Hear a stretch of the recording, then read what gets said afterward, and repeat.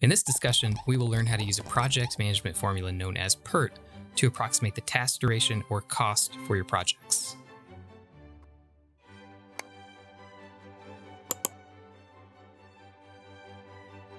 The PERT calculation is a widely used formula to approximate task duration or cost in projects, particularly those where the estimates are uncertain, because PERT allows you to input specific values for each of your tasks.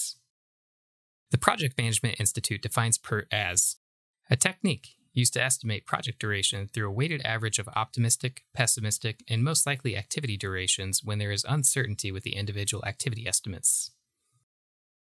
For a successful project, it is best to use PERT during the planning and implementation phases. This can be done before or at the start of a project, given that there are three major components that we need to gather for this calculation to work.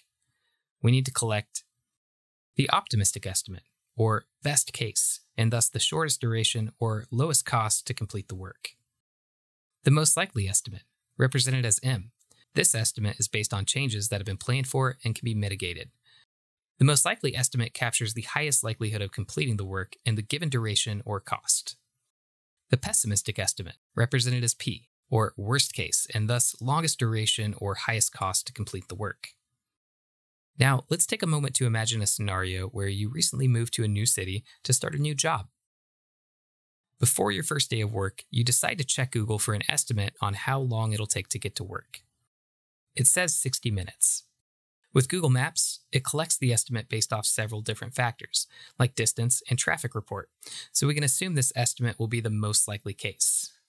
Luckily for you, your neighbor who just so happens to work at the same place tells you that in his experience, it can be as quick as 30 minutes or as long as two hours, depending on weather conditions, traffic, or even accidents.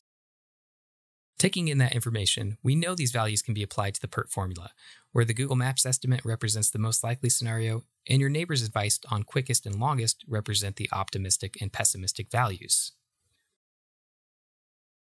Now, one thing to keep in mind is that PERT is based off the beta distribution technique which is a formula that calculates the weighted average. A typical average would just be O plus M plus P divided by 3.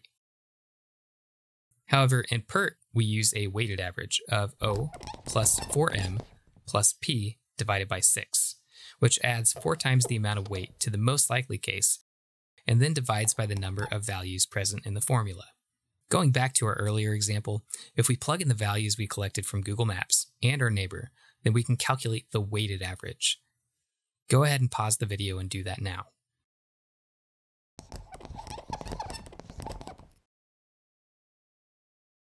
The answer is 65 minutes. Now, when your first day of work comes around, you can plan for the trip to take approximately 65 minutes, which should keep you from being late. In this example, you effectively learned how to use PERT to make an important decision, and there's virtually no limit to the scenarios in which you can apply this technique. Did you like our explanation on PERT?